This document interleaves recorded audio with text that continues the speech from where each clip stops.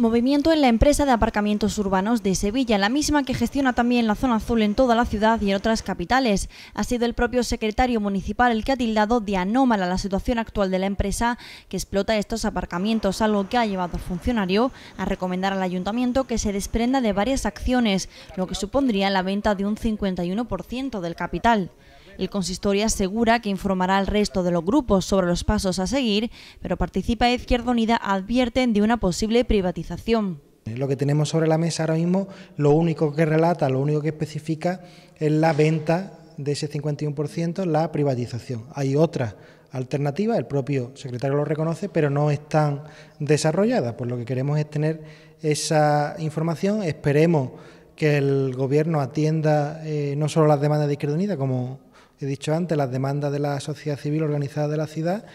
y que ponga toda la información sobre la mesa y que tengamos un debate a, a nivel, a nivel de ciudad trascendente.